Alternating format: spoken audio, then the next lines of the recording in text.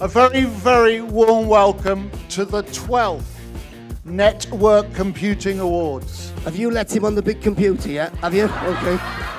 It's a big like that. Look at that. Come on, use the felt tips. Testing Monitoring Product of the Year. The runner-up, iTrinegy. Uh, and the winner of this one is Netreo.